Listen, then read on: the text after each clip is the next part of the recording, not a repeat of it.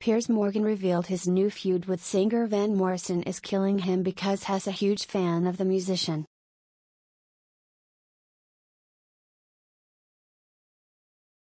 Piers Morgan, 56, has had feuds with many celebrities from all over the world, often stemmed by speaking his mind on controversial topics. Now, Hess opened up on his latest dispute with Northern Irish singer Van Morrison, but this one has had repercussions.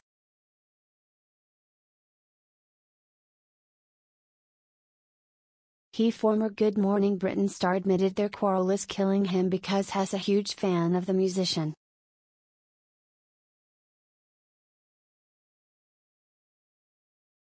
Writing in his latest column for the Mail Online, Piers revealed why the pair have fallen out.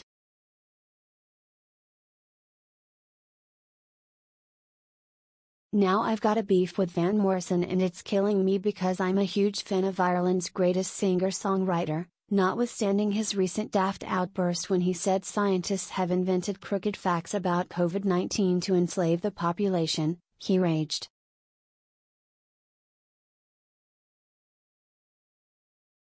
Speaking to GQ magazine, he said, I remember going to the GQ Awards one year, and I didn't know what to make of it because Piers Morgan was glaring at me all night and then he wrote something, saying, that I was glaring at him.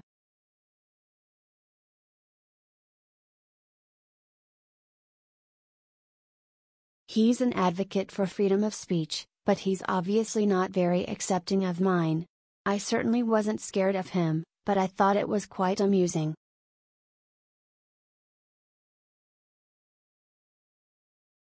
But the outspoken presenter confessed he had no idea what he was talking about when he read that interview, until he did some research.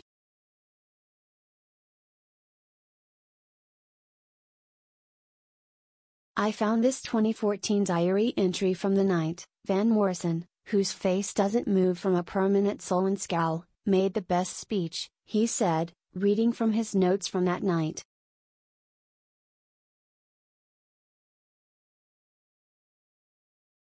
Very short, ending with, I don't often come out of my shell like this, and now I'm going straight back into it again.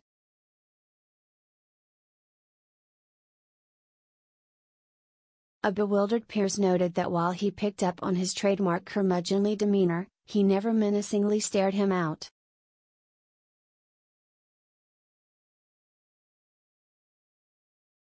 And in fact, far from disliking his speech, I complimented him on it, he exclaimed.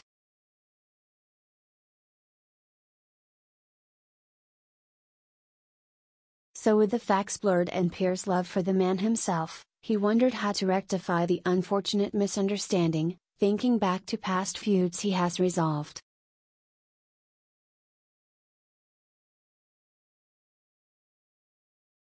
I buried the hatchet with Jeremy Clarkson over a gallon of alcohol in my local pub, he recalled before referring to other battles for which a reconciliation is still pending.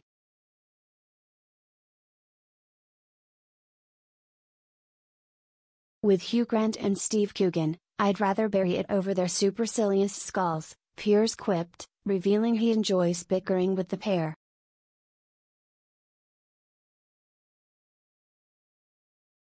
Back to his freshest squabble, added, but Morrison's now teetotal, so maybe we could do a Virgin Irish Coffee Peace Summit in his native Belfast or something.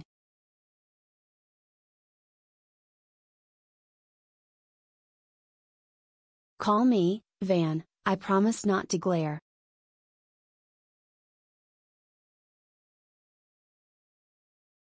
Piers' most notable feud, not including his back and forth fights with Prince Harry and Meghan Markle, was with the former Top Gear presenter, which even led to physical altercations.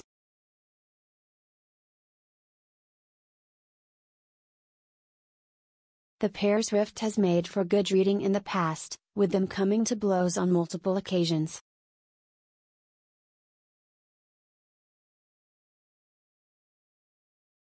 In 2003, Jeremy poured water all over Piers during Concorde's final commercial flight after they were sat beside each other.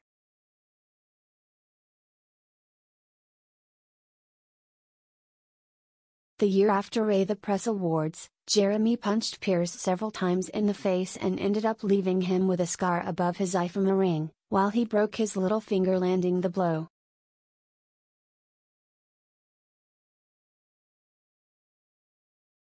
But following their reconciliation, the two controversial hosts were pictured in Saint Tropez together in 2017, with Piers posting a photo of them, joking, bumped into an old mate in Saint Tropez last night.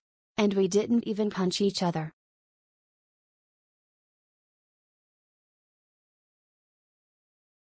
More recently in December, Piers appeared on his former nemesis show Who Wants to Be a Millionaire?